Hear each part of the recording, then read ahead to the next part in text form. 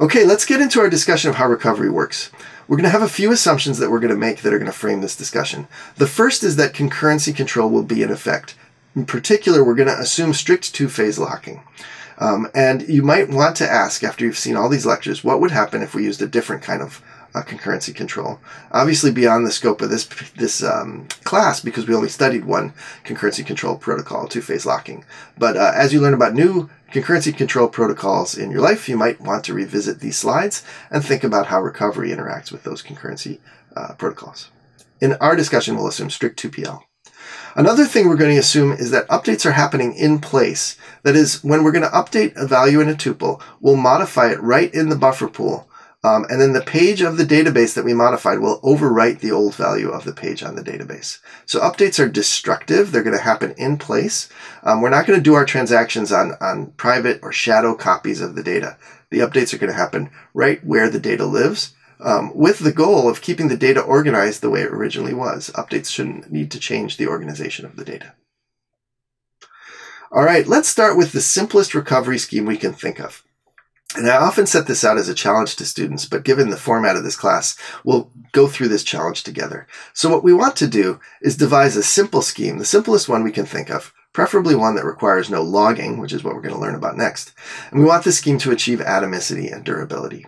Okay. And remember, we're making updates in a buffer pool, and those updates are being written down to the database periodically.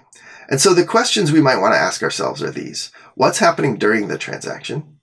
What happens at commit for durability? How do you roll back on abort? How is atomicity guaranteed? And finally, are there any limitations or assumptions in your solution? So if you'd like, you can pause the slides now and think about that and come up with a scheme of your own. We'll go through one together on the next slide. Okay, here's my simple scheme, and it's a pretty natural one. All right, so here's an example of a simple scheme to do this. First rule is that dirty buffer pages are going to stay pinned in the buffer pool. We're not going to write anything to the database while the transaction is running. Um, we're going to prevent the replacement policy from stealing these pages by pinning them in the buffer pool. Uh, oh, by the way, let's use page level locking so we have one transaction per page. So transaction locks a page and it pins the page in the buffer pool also. So that transaction has total control over that page and no dirty writes are going to the database. Okay. And that's going to avoid a lot of problems, right? We're not going to have corrupted data in the database from incomplete transactions. Okay, now all we have to do is deal with commit. At commit time, what we're going to do is we're going to take all those pinned pages for our transaction and we're going to force them to disk together. Then we're going to unpin the pages so that the buffer pool can replace them if it wants to. And then we'll commit only after we know all the pages are on disk. And by committing after we write all the pages, we can be sure that we've told the user that uh, the transaction is committed, we know that those pages are flushed down and forced to the database disk. So that's a nice simple solution, right? No dirty stuff gets written to the disk, and we don't commit until we know everything's been written to the disk. So the first property is going to give us atomicity, right? Because we'll never get a partial set of pages written down to the database. And the second part is going to give us durability. If we say commit, we know the pages are in the database. Sadly, the scheme doesn't quite work. Let's talk about why. Well, the first part we said all dirty pages are going to stay pinned in the buffer pool. And you should have been thinking to yourself uh, from our buffer management lecture, what happens if that buffer pool fills up?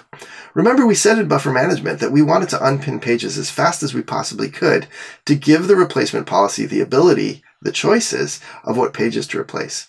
Here, a transaction, if it's a big transaction, is going to pin lots of pages in the buffer pool. A really big transaction could pin all the pages in the buffer pool and still want more, and then it would simply crash. So this is not a scalable solution, right? It can't handle a transaction that touches more pages than we have pages in the buffer pool. And even if we don't worry about scalability, it's limiting the ability of the system to do buffer replacement the way that's most efficient. So if nothing else, it's, uh, it's I.O. inefficient. But more importantly, it's not scalable. Remember the second part of our proposal. We said at, com at commit time, we want to force the dirty pages to disk and then unpin the pages and then commit. But what if the database crashes halfway through step A? We can't force all our dirty pages to disk all at the same time. That's not how disk drives work. So if we have a transaction that's touched a thousand pages, we're going to have to do a thousand separate IOs.